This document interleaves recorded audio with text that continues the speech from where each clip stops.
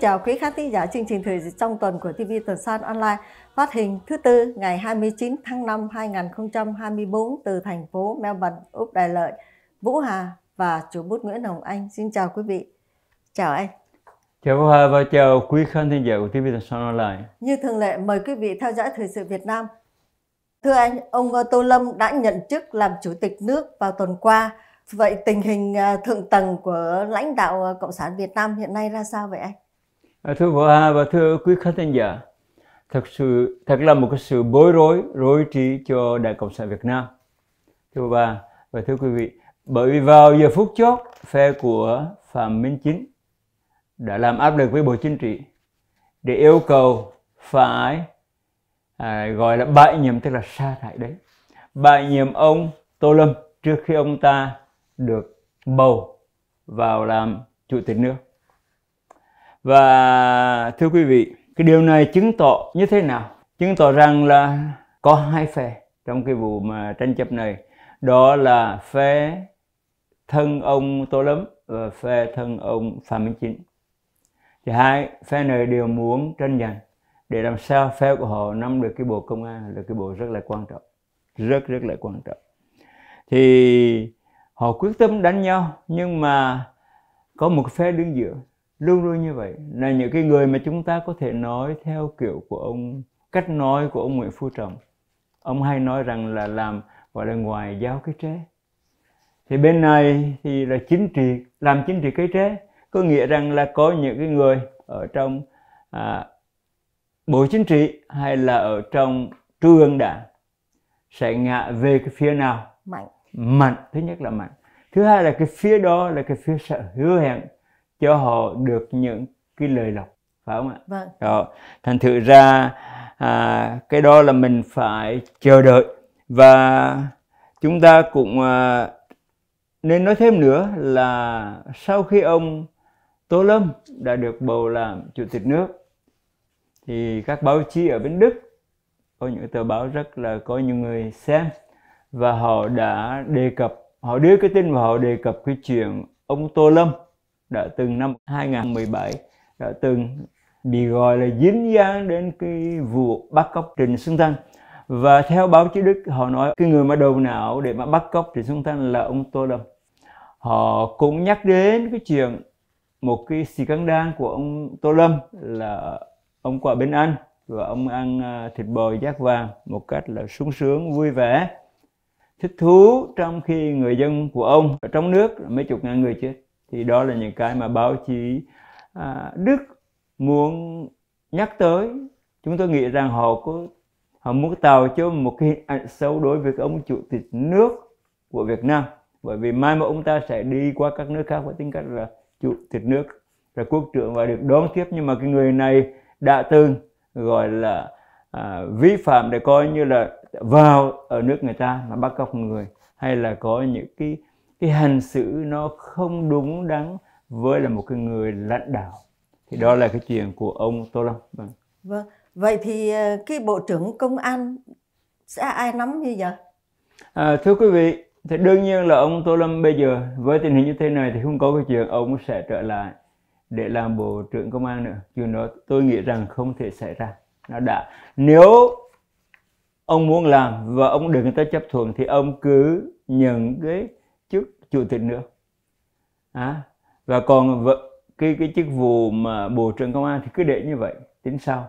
Nhưng mà bây giờ họ đã coi như bắt ông bị coi như là tìm cách để mà gọi là hất ông ra khỏi cái chức bộ trưởng công an rồi. Thành thử ra không bao giờ có cái chuyện ông trở lại kiêm luôn cả chức mà bộ trưởng công an đâu. Thì à, để mà chọn được một cái người mà để làm bộ trưởng công an là một cái vấn đề sẽ rất là khó khăn rất là khó được cái sự à, gọi, tạo được cái sự đồng ý giữa những người ở trong đảng. Tại vì cái quốc hội khóa 7 này đang họp đó là họ kéo dài từ ngày 20 cho đến ngày 28 tháng 6 tức là còn khoảng một tháng nữa thì mới kết thúc. Và khi họ họp vậy thì chắc chắn là sẽ biểu quyết để chọn cái người tín nhiệm người nào làm cái chức vụ gì đó. Thì từ đấy cho đến một tháng nữa thì vẫn còn có cái sự tranh chấp và chúng ta sẽ biết có lẽ là vào cuối tháng sau thì ai sẽ là người làm bộ trưởng công an? Và thưa quý vị, theo thông lệ đó, thì cái bộ trưởng công an phải là một người nằm trong ủy viên bộ chính trị, thưa bộ hà và họ phải là một cái người làm ở trong cái bộ chính trị ít ra là một nhiệm kỳ. Ừ. và thưa quý vị, nhà nước cộng sản việt nam là một cái nhà nước mà công an trị. Ai cũng gọi là công an trị hết. Bởi vậy nên chúng ta không lấy gì làm là khi bộ công an ngoài cái ông bộ trưởng có đến sáu cái thứ trưởng công an nữa nuôi sáu cái ông công an à, thứ trưởng công an nữa rồi nuôi hàng trăm cái ông tướng nữa kinh hoàng như vậy đó. Nhưng mà những cái người mà hiện giờ đang làm à, thứ trưởng. Mà công an cả sáu người thì đương nhiên là nếu mà chọn trong sáu người thì phải chọn ba người cấp cao nhất là ba cái ông thượng tướng là Trần Quốc Tổ, Lương Tam Quang và ông Nguyễn Duy Ngọc. Ba ông đó hiện giờ là thứ trưởng với cấp hàng cao nhất là thượng tướng.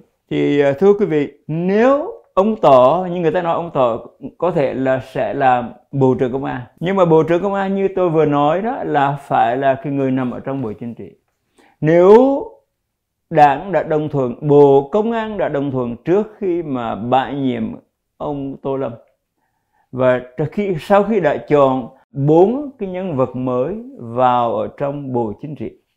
Và bây giờ là có 16 người tất cả. Còn hai người nữa. Thì có hai người đó nữa đó đáng lý là hai chỗ trống. Tại sao không chọn cái ông Trần Quốc Tỏ đi phải không ạ? Yeah. Dạ. họ không chọn ông Trần Quốc Tỏ để là vào bộ chính trị để có cái cơ hội là một người phải nằm trong bộ chính trị mới là làm bộ trưởng an thì chứng tỏ rằng là ông Trần Quốc Tỏ hiện giờ chỉ là người tạm thời điều hành ông thủ tướng Phạm Minh Chính bổ nhiệm ông uh, Trần Quốc Tỏ để làm gọi là cái nhiệm vụ điều hành. tạm thời điều hành cái cái bộ công an thôi. Chứ không phải là không phải là người ta hay nói mình gọi là cái quyền quyền bộ trưởng nhé. Rồi. quyền bộ trưởng là người thay thế bộ trưởng.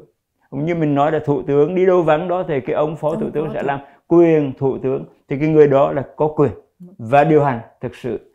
Thì ông Trần Quốc Tỏ hiện giờ đang không đóng cái vai vai vai trò đó và trong khi đó thì có hai ông mà người ta đoán là à Hòa vừa nói Lê Tâm Quang và ông Nguyễn Duy Ngọc. Thì hai ông này đó là người của ông Tô Lâm. Vâng. người cùng quê mà. Thường thường quý vị ở Việt Nam vậy người cùng quê đó thì họ bên vực nhau. Ờ, họ nhau. phe đạn với nhau. Và là người cùng xứ mà. Dạ. thì hai ông này là hai ông người dân Hưng Yên với là ông Tô Lâm. Và trong hai người này cái người mà được ông Tô Lâm mà gọi coi như là gọi thích thú nhất rồi gọi là tin tưởng. Tin tưởng nhất vâng. thì là ông Lương Tam Quang vâng. thì trong hai người này nhưng mà chúng ta đến bây giờ thì không biết bởi vì hai người này cũng không đạt được cái tiêu chuẩn như là ông à, Trần Quốc, Quốc Tỏ. À, tức là không à, không nằm ở trong bộ chính trị. Bởi vậy thì người ta nói nếu như vậy thì ai sẽ làm? Thưa quý vị ai sẽ làm bộ trưởng công an? Là một cái chức vụ rất là quan trọng quý vị thấy đến bây giờ đó là cái bộ công an là cái bộ mà đã làm hà bề không biết bao nhiêu bao nhiêu người ở trong trung ương đảng trong khoảng 200 người trong trung ương đảng và đồng thời trong đó khoảng là có 6 người nắm hay là 6 người trong bộ chính trị trong cái khóa 13 này này đã bị coi như là sa thải đuổi ra khỏi đảng và mất hết cái chức vụ. Thì trong năm người mà bị, thuộc bộ chính trị mà bị bị hất ra khỏi cái cái chức vụ của họ, thì người ta nói rằng là có ba người là do ông bộ trưởng công an tô lâm coi như là tìm cách để hạ bệ và hạ bệ thành công. Bởi vì bộ trưởng công an nắm tất cả những cái cái cái gọi là cái tài liệu, cái lịch sử, hồ sơ của những cái người mà họ muốn muốn lật đổ. Bởi vì những cái người mà chúng ta thấy vừa rồi đó mấy ông uh, chủ tịch nước rồi ông chủ tịch quốc hội gọi là từ chức một cách rất là nhanh chóng rất là nhanh chóng và xin từ chức thôi rất nhanh chóng thành thử ra. Thưa quý vị người ta hỏi là bây giờ ai sẽ là cái người vào trong cái à, giữ cái chức um, chức của bộ trưởng bộ công an. công an. Thì người ta nói rất có thể nếu mà hai mấy cái ông bạn mấy cái ông thư uh, thượng tướng mà thứ trưởng mà không làm bộ trưởng uh, công an thì có thể là những người khác. Họ nằm ở trong bộ chính trị. Nhưng mà họ cũng là là công gốc an, công an. Gốc an. Thì thưa quý vị đó là những ai?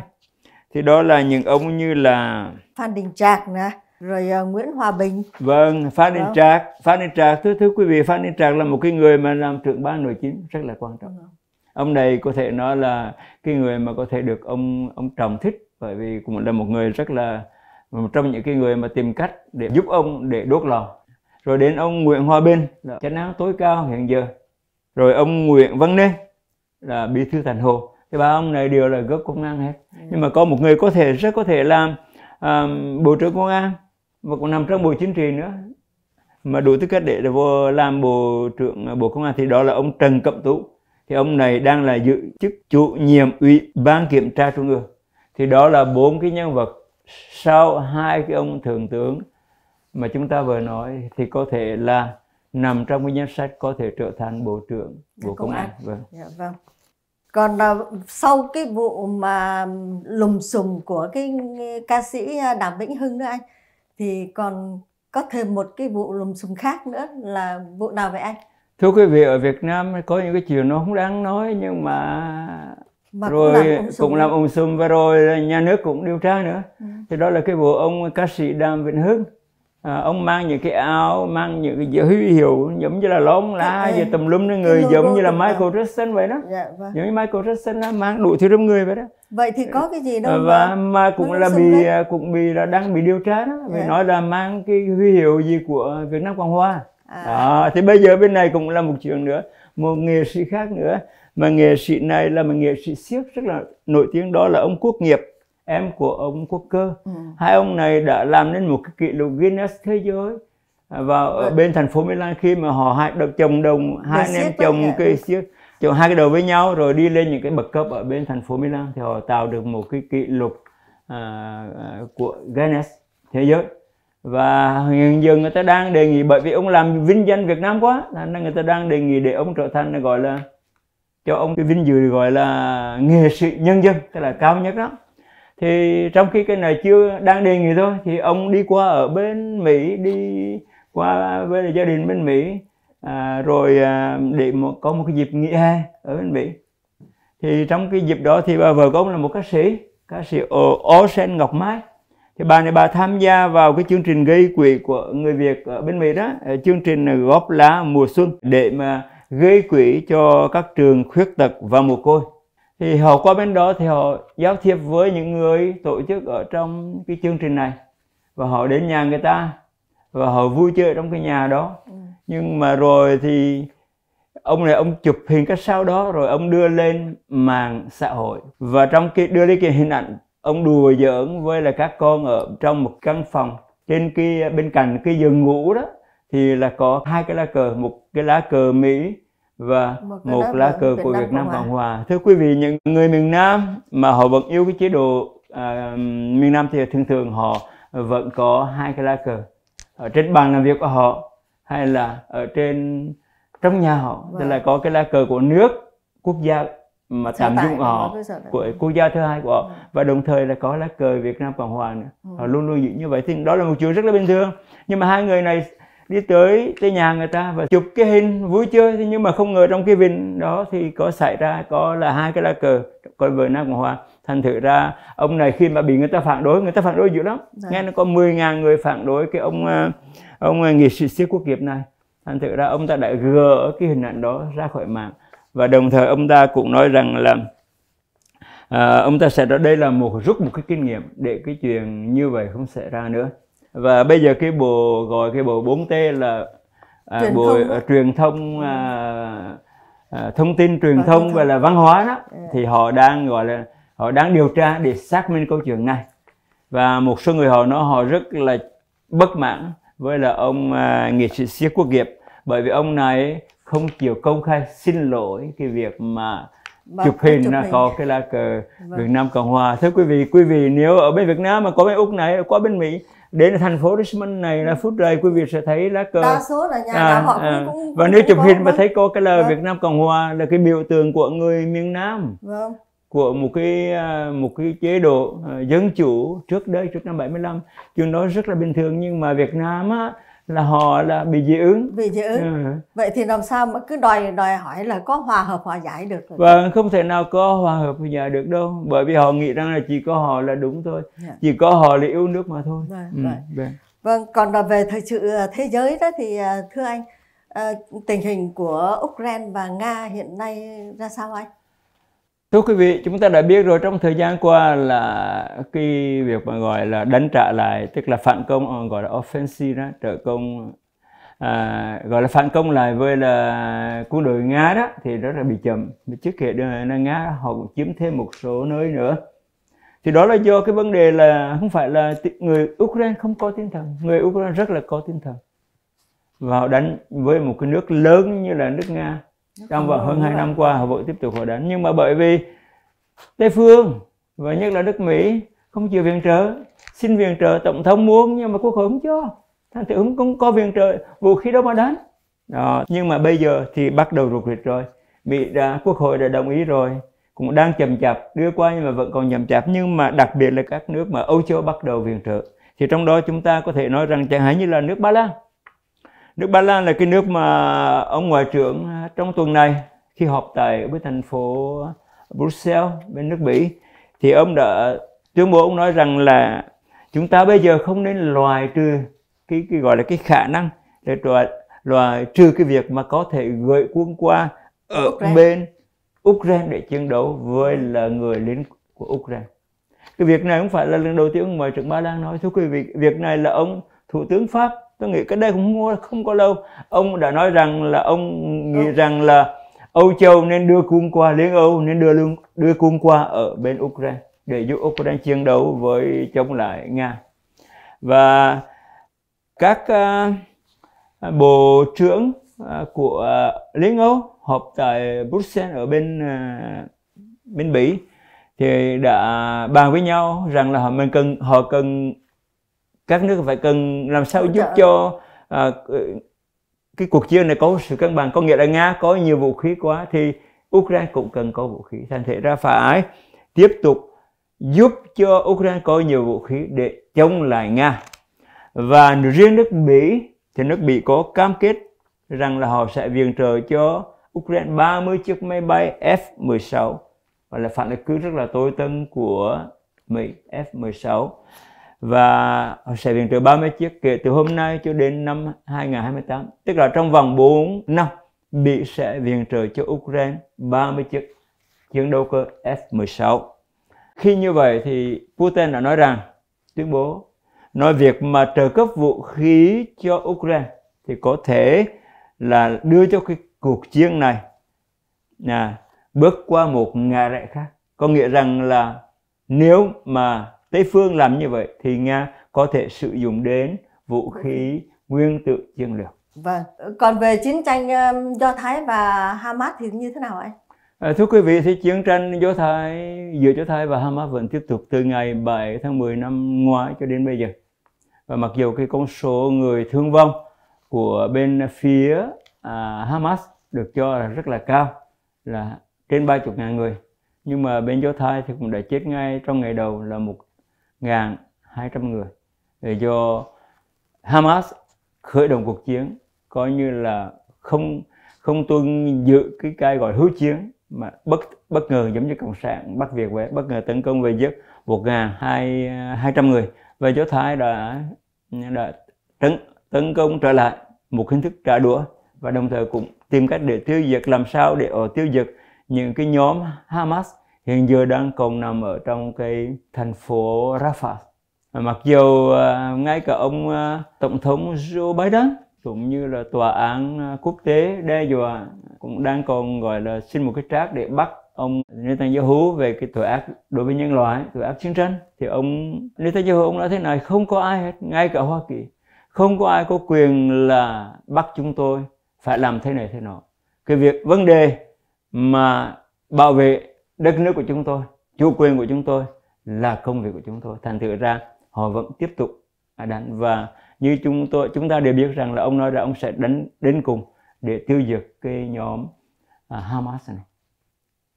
Vâng. Còn uh, về thời sự của nước Úc thì uh, thưa anh tình hình ủng hộ Palestine và Do Thái ở Úc như thế nào anh?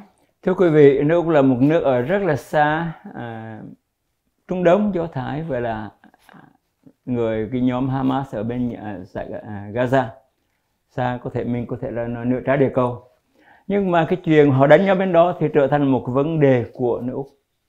Và một cái vấn đề này cũng là rất, rất là trầm trọng.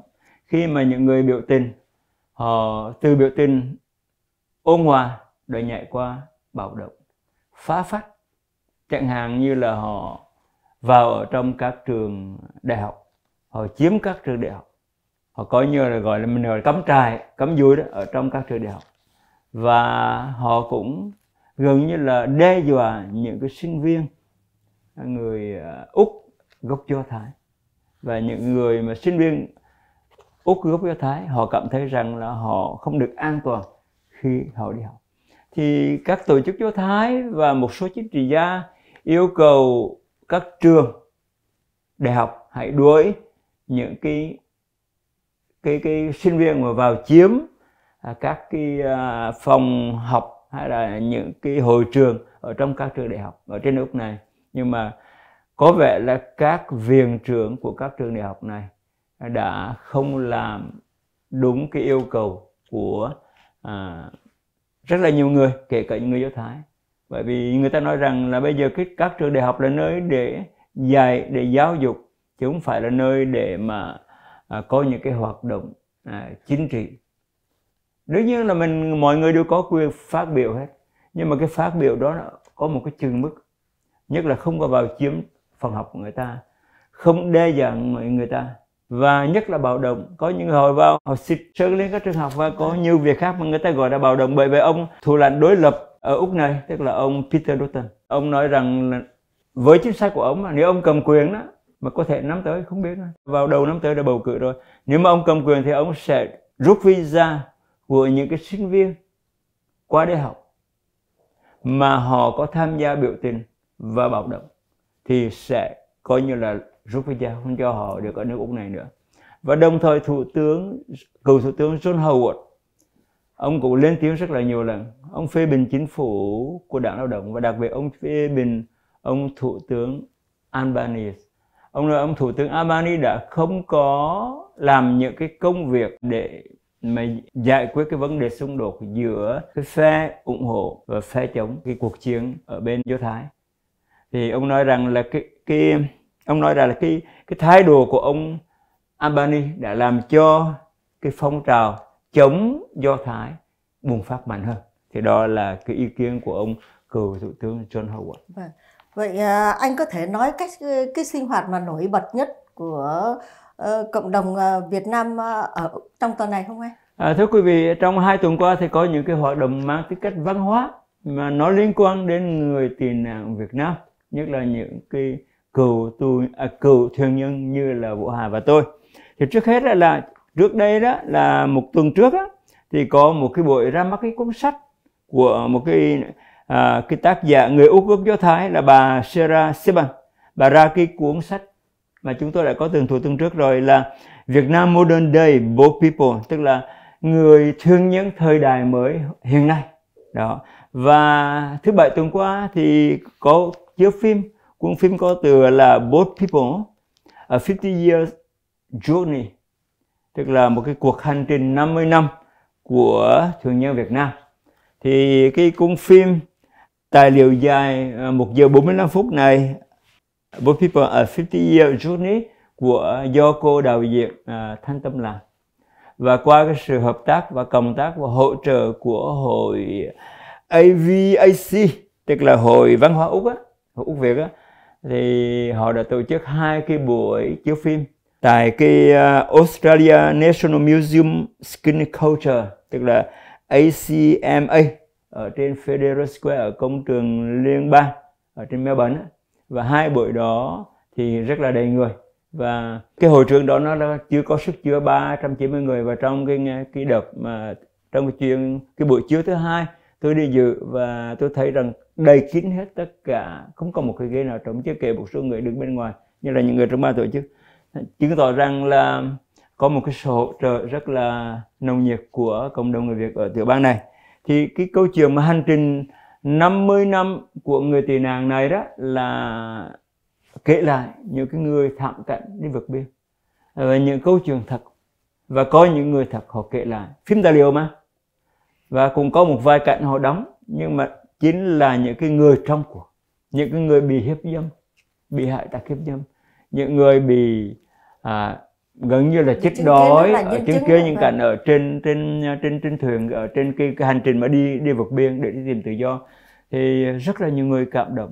Tôi thấy có những người họ họ họ khóc á. Vâng. và có những người khi mà phát biểu ý kiến thì họ họ nói mà họ gần như là gần như là rất là xúc động. Và chúng tôi thấy cũng có một số anh sinh viên trẻ họ nói họ là người Việt Nam từ Việt Nam qua đây du học và lần đầu tiên họ mới biết rằng là có cái cảnh như vậy. Bởi vì 50 năm qua dưới cái xã hội chủ nghĩa thì cái gì cũng đẹp hết. Vâng. tốt đẹp hết. Mà con người xã hội là con người chủ nghĩa là con người tốt. Chứ không có gây ra một cái cảnh mà để rồi cái đồng bào của mình à, cùng là một à, tiếng nói cùng là một tổ à, cùng là một ông tổ mà phải um, gọi là hành hạ nhau để rồi người ta phải đi đi tìm tự do và chết hàng trăm ngàn người trên biển thì à, có một số sinh viên họ nói họ rất là xúc động. Và họ bây giờ họ mới biết thế nào tại họ mới biết thế tại sao có cái câu chuyện như vậy. Thì cuốn phim này thưa quý vị là đã chiếu ở Melbourne vào thứ bảy vừa rồi. Thì từ ngày mùng 2 tháng 6 đến đây cho đến ngày 16 tháng 6 đến đây thì họ sẽ đi chiếu hai nơi ở bên uh, Sydney. Sydney xong lên ở Adelaide và cuối cùng ở Brisbane vâng. và sau đó sẽ trở về Úc này để chiếu lại một lần nữa. Tại vì thì, có một số người chưa vâng, à, có, chưa được coi. Đi. Dạ, vâng. Và thưa quý vị, cái cuốn phim đó là cái cuốn phim nó mang cái tên là Hành trình 50 năm của thường nhân Việt Nam mà chúng tôi cũng như Bộ Hà và rất là nhiều người, hàng trăm ngàn người à, sẽ kỷ niệm à, đánh dấu vào ngày 30 tháng 4 năm 2025 là cái năm mà mất miền Nam và chúng tôi phải đi tìm tự do và sống ở nước ngoài. Vâng. Thưa quý vị, chương trình thời sự trong tuần đến đây chúng dứt Vũ Hà và anh Nguyễn Hồng Anh xin chào tạm biệt và hẹn quý vị vào kỳ tới. Chào quý vị. dòng máu chảy từ trong người dòng máu chảy từ trong tim lửa ôn hận đã tràn tuôn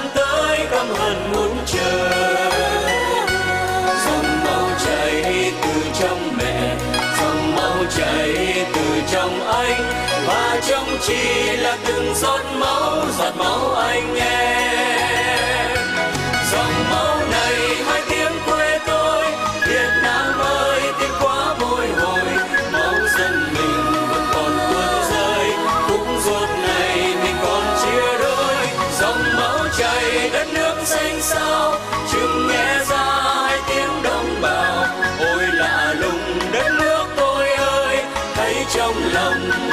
xuân sao